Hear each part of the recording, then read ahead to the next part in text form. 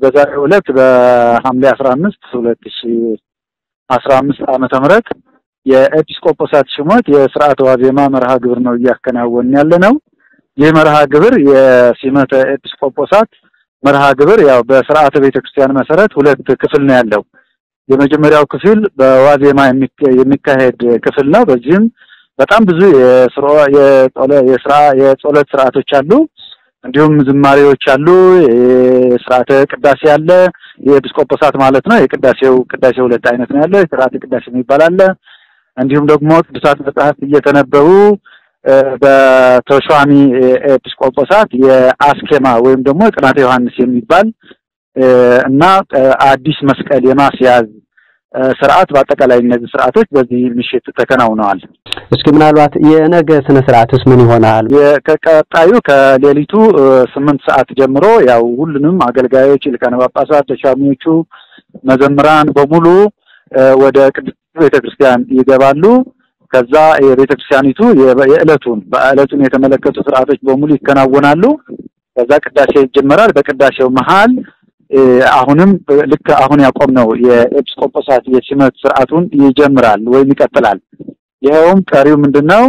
የአስኬማ የቆባቸው ማለት ነው። የጵጵስና ቆባቸውን ይደረግላቸዋል።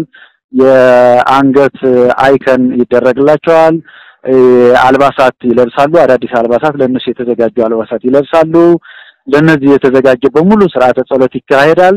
ከዛም ሙሉ ስማቸው ስማቸው እንኳን ዛሬም ተነግረዋል። ሙሉ ስማቸውና ቃለ መሐላ ከፈጸሙ በኋላ ደግሞ የኤጲስቆጶስነት የተሰጣቸው አዲስ ስም የስራ ምድባቸው በዛው ሰዓት ይከናወናል ማለት ነው። ከዛ ወደ እንደገና ቅዳሴውን ይቀጥላል። በቅዳሴ መሀል ነው ይህን የሚከናወነው። ቅዳሴውን ከተከናወነ ካለቀ በኋላ ደግሞ ወደ አውደ ምሕረቱ የውጭ ስርዓትም አለን። በአውደ ምሕረቱ ልክ እንደ ሌሎቹ በዓላት ይህም የቤተክርስቲያን ትልቁ በዓል ስለሆነ እንደ ሌሎች የትላልቅ በዓላት ሊቃውንቱ ዝማሬ ያሰማሉ። የትምህርት ቤት የትምህርት ቤቶች የሰንበት ተማሪዎቹም እንደዚሁ ዝማሬ ያቀርባሉ። ቅኔ ይቀርባል።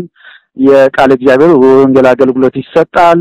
ሌሎች ማሳሰቢያዎችና እነዚህ አዲስ ተሻሚዎች ደግሞ ለሕዝቡ የሚሰጡት ቃል ማሳሰቢያ የእግዚአብሔር ቃል አጭር አጭር ደቂቃ ይሰጣቸዋል። ያ ሊቃነ ጳጳሳት ደግሞ አሁን እየሾሙ ያሉ አባቶች ደግሞ እነሱም መልእክታቸውና ቃለ ምዕዳናቸውን ያስተላልፋሉ።